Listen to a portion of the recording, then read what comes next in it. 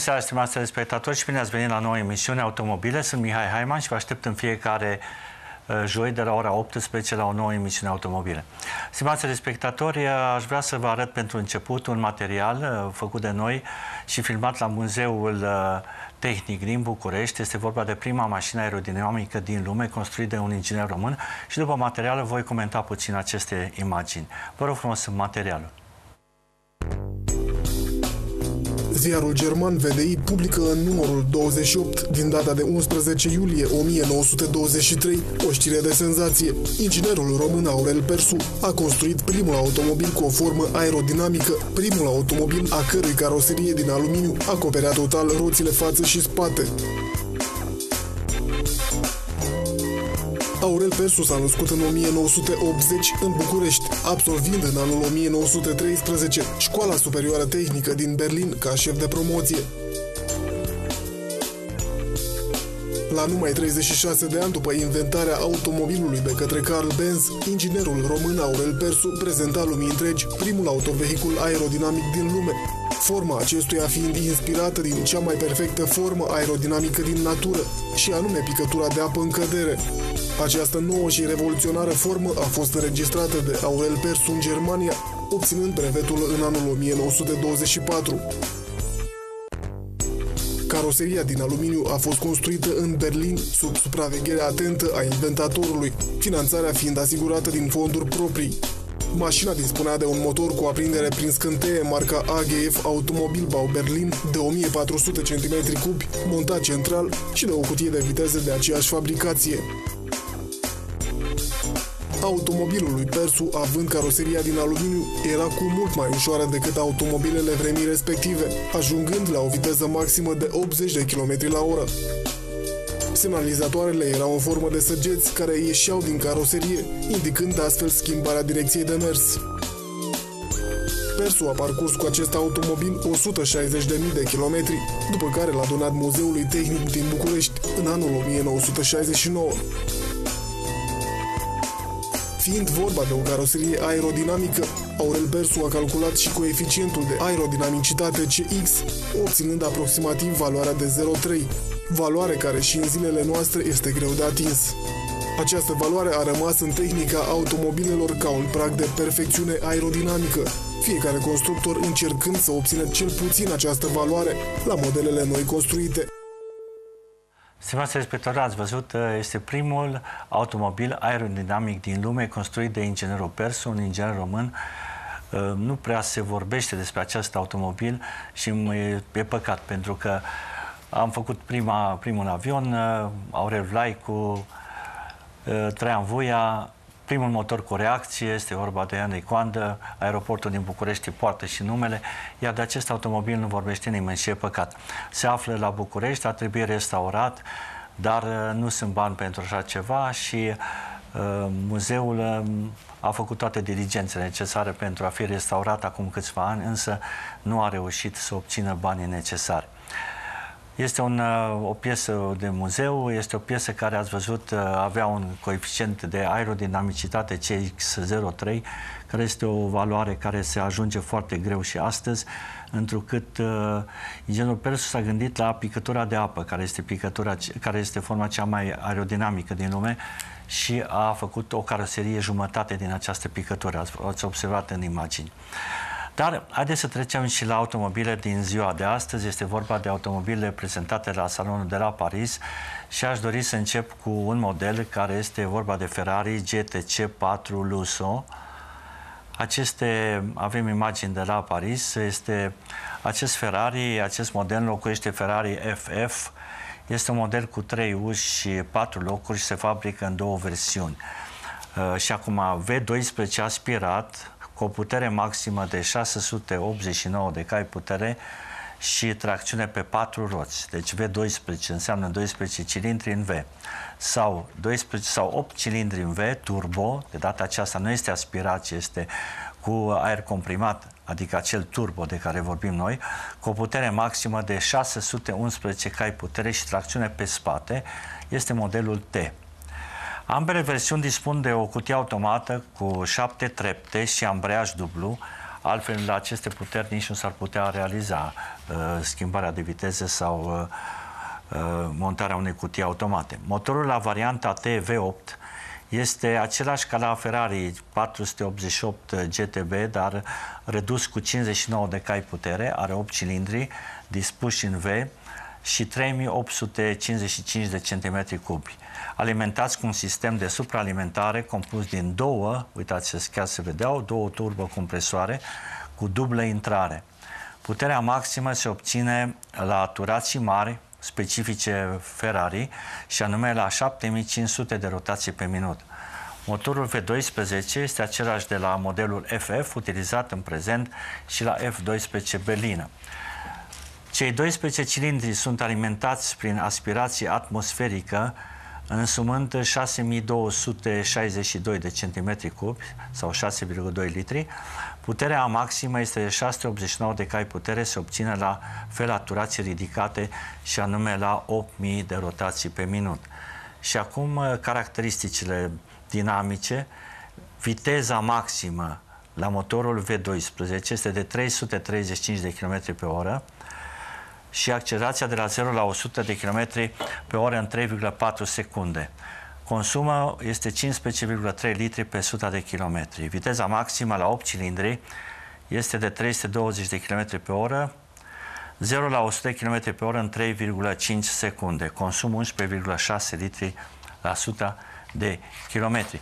Deci, stimați respectori, iată că acest Ferrari uh, GTC 4 Luxo a stârnit admirație la salonul de la Paris, întrucât este o mașină foarte puternică, construită și cu un motor aspirat de data aceasta de în 12 cilindri. Uh, nu, nu s-a comunicat prețul, vănuim că prețul este pe undeva, trebuie să fie, adică trebuie să fie după peste 100.000 de euro, dar uh, nu vrem să anticipăm lucruri pe care nu le cunoaștem.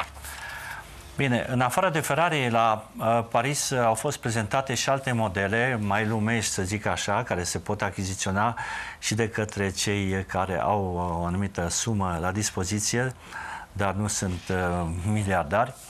Este vorba de Honda și anume modelul Honda Civic, care este un model foarte reușit. Deci, noul model este a 10-a generație de Civic.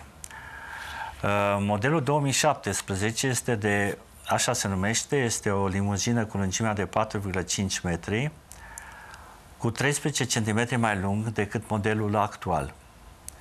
Lățimea de 1,80 metri și înălțimea de 1,4 metri. Honda a mărit și distanța dintre roți cu 10 cm, ajungând la 2,7 metri. Deci uh, s-a gândit Honda aici să mărească puțin uh, caroseria, mărind și, mărind și distanța între roți.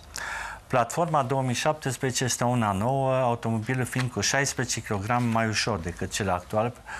Tendința aceasta este să se construiască automobile sigure, dar mai ușoare, pentru ca să consume mai puțin, îmbunătățindu-se astfel coeficientul de kilogram pe cal putere. Suspensia spate este de tipul multibraț și poate fi dotată cu amortizoare controlată electric. Gama de motoare a fost înnoită, astfel Civicul se va livra cu următoarele motorizări pe benzină. 1 litru, deci motor mic, și 1,5 litri, ambele supraalimentate. Deci se merge pe ideea de a folosi uh, cilindrie mică, dar supraalimentată. Motorul de 1 litru ajungând la 129 de cai putere, motorul de 1,5 litri ajungând la 182 de cai putere. Aceste motoare sunt cuplate la o cutie de viteză manuală de 6 trepte sau la una uh, CVT cu uh, variație care se știe deja, se cunoaște, sunt montate și la alte modele de Honda. Nu deținem încă date cum se va comporta nou model cu cele două tipuri de transmisii. A treia motorizare, deci pe lângă cele două benzine, a treia motorizare este un diesel de 1,6 litri mai ușor și mai performant.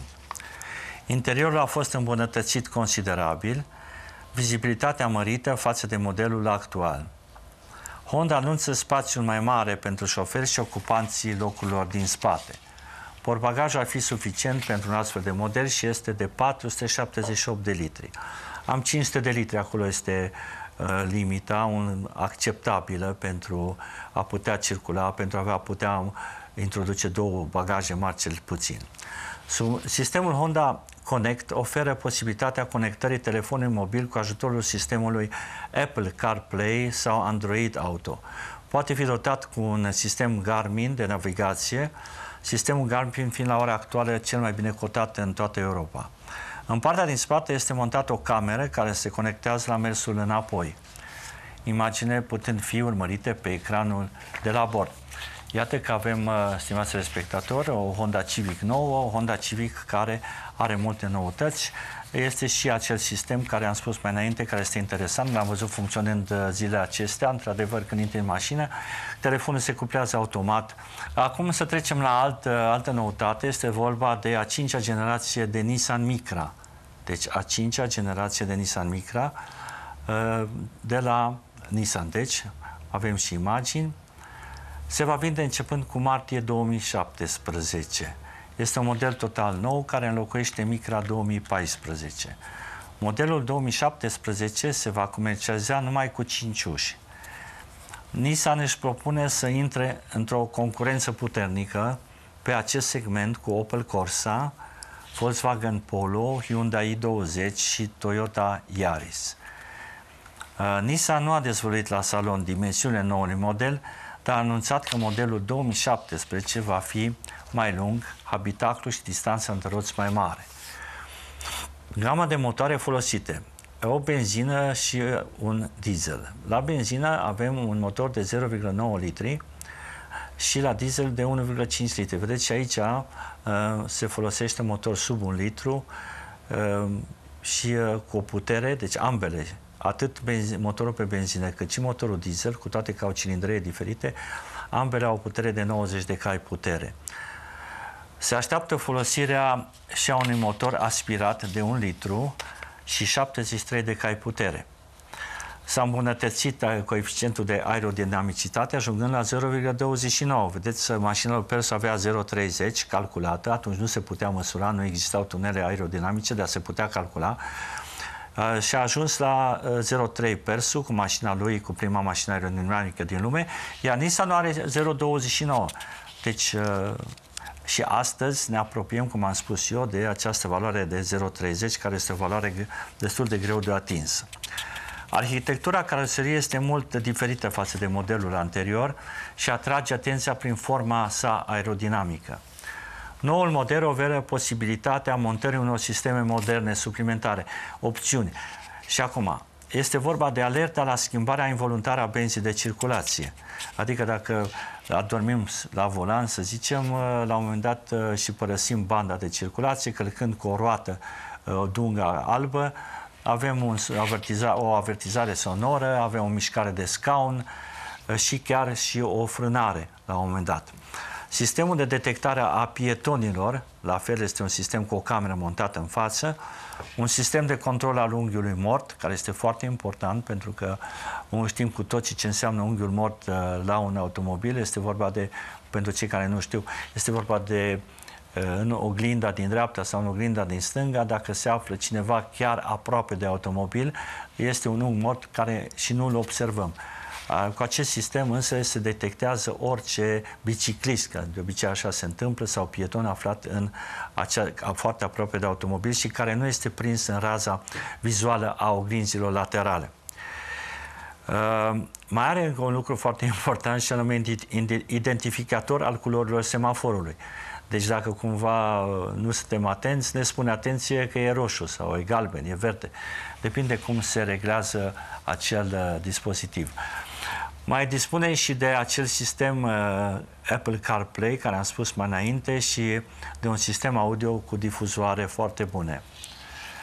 Având piese comune cu Clio, modelul se va fi fabricat în Franța, stimați respectatori, deci va fi un model uh, fabricat în Europa, în fabrica de la Flins. E un model interesant, uh, e puțin, Nissan e puțin, totdeauna am zis că intră în competiție cu Opel Corsa, cu Volkswagen Polo, cu Hyundai i20, Toyota Aris, uh, dar ca preț din experiență este puțin mai ridicat decât celelalte. Uh, ei spun datorită calității materialelor folosite și mai ales datorită pieselor care au o fiabilitate mai mare decât celelalte automobile din grupul uh, Nissan Renault. Și acum uh, am mai văzut la salon o, un, uh, o mașină italiană de sport, dar este și de familie. Este prima mașină de familie sport al lui Maserati. Este vorba de Maserati 4 porte. Chiar de aia și spune 4 porte, să atragă atenția că are 4 uși uh, și uh, este o familie, este o mașină și de familie.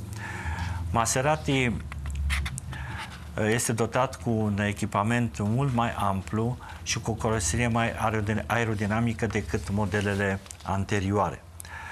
Dimensiunile au rămas aceleași, anume are o lungime de 5,26 m, deci depășește 5 metri, ceea ce înseamnă un spațiu uh, mare în interior, lățime de 1,95 de metri, înălțimea 1,48. Maserati 4 porte este gândit ca alternativă la BMW seria 7, Jaguar XJ, Porsche Panamera. Uh, Maserati a declarat la salon că modificările aduse caroseriei au micșorat coeficientul de aerodinamicitate de la 0,31 a modelul anterior la modelul uh, anterior care era din 2013 la 0,28 modelul actual. Această modificare a dus la scăderea consumului cu 10 litri la 100 de kilometri. Au fost uh, aduse și modificări interioare, cum este cea de la consola centrală și la sistemul multimedia. Conectarea la telefoane se face, așa cum am zis înainte, cu cele sistemele uh, Apple Car, Play și Android Auto. Motorizările sunt un diesel V6 de 275 de cai putere, și benzină, două motoare pe benzină, un V6 de 411 cai, deci vorbim aici de puteri foarte mari, și un V8 de 530 de cai putere. Versiunea SQ4 deține o tracțiune pe 4 roți, deci există și variante 4 roți, iar uh, cutia de viteze este una automată cu 8 trepte. Aceasta a fost Maserati.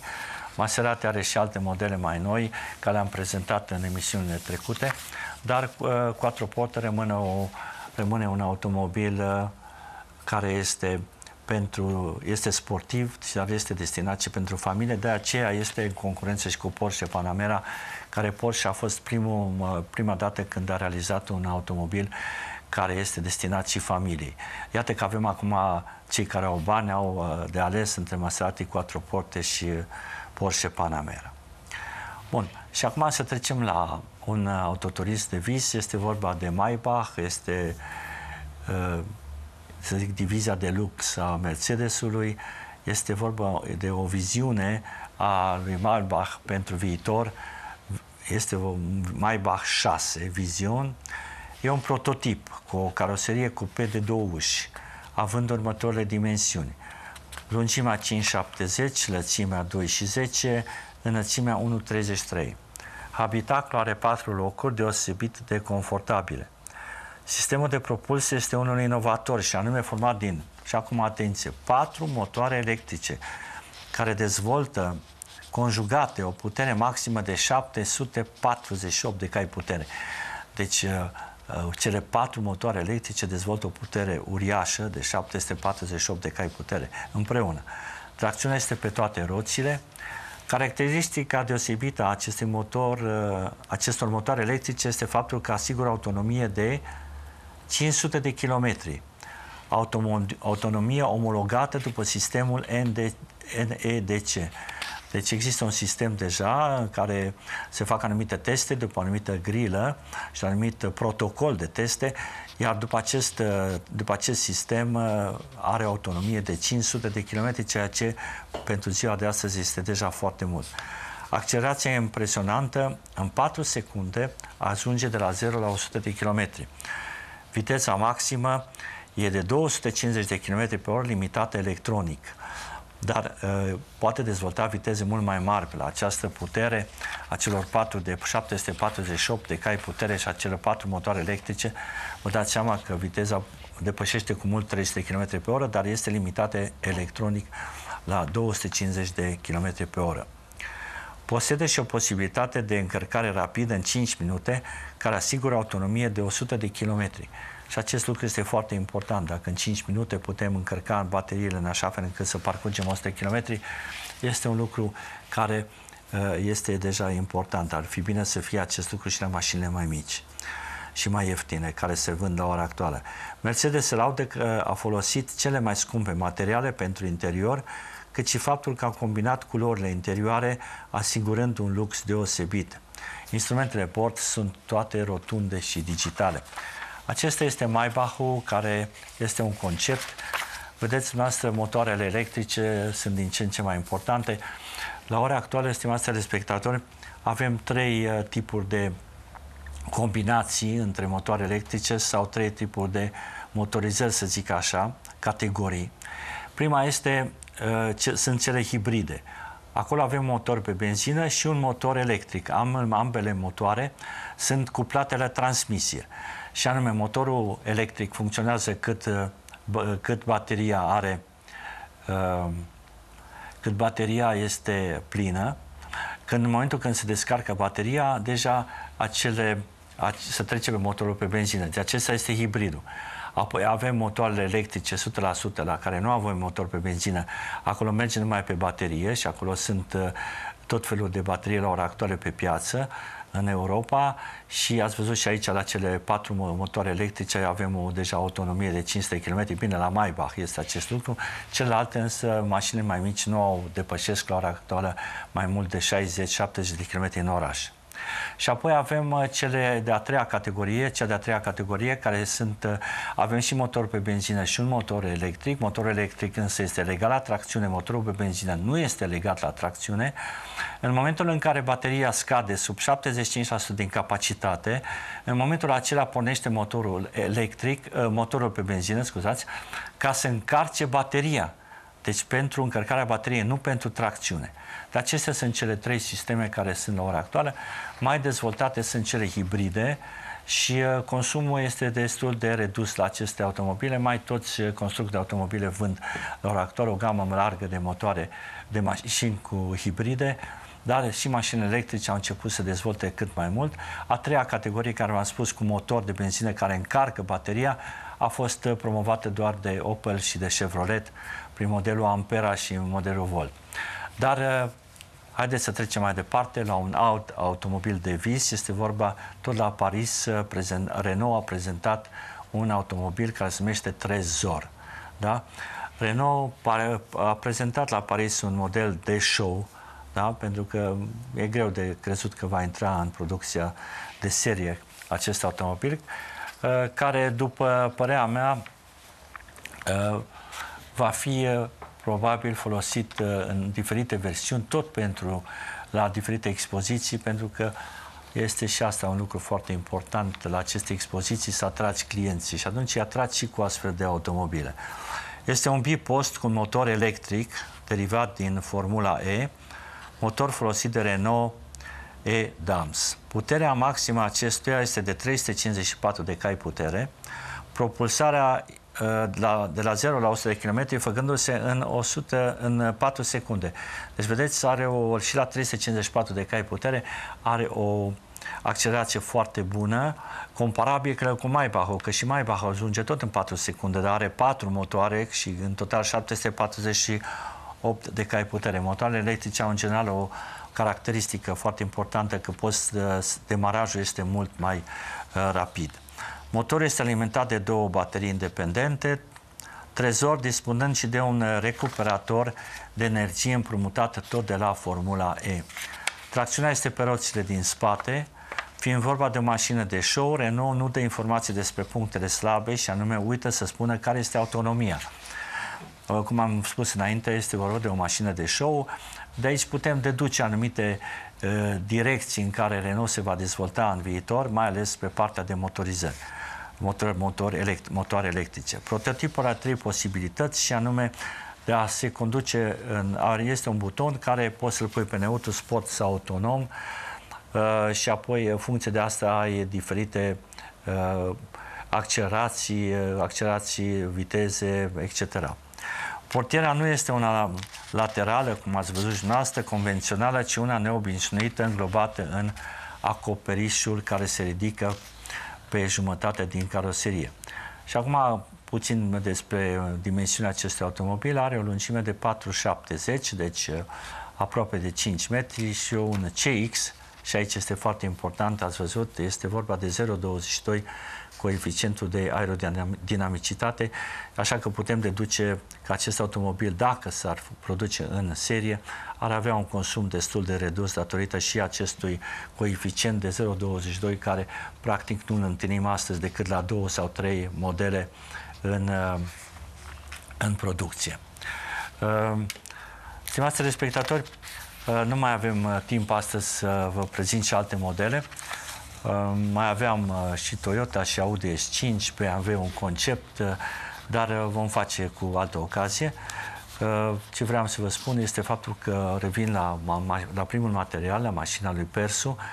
Aș dori să fac un apel celor care ar putea să sponsorizeze o reconstrucție a acestui automobil, pentru că este foarte important pentru noi în România ca să avem și noi un automobil care să, să-l putem arăta și în Europa și celorlalte celorlalți uh, constructori de automobile care probabil au uitat de acest automobil. La un moment dat s-au făcut niște încercări la Renault, la Renault. Renault era un director pe timpul, se numea domnul director Fourmont, care de fapt a dus și Dacia pe un nivel destul de înalt.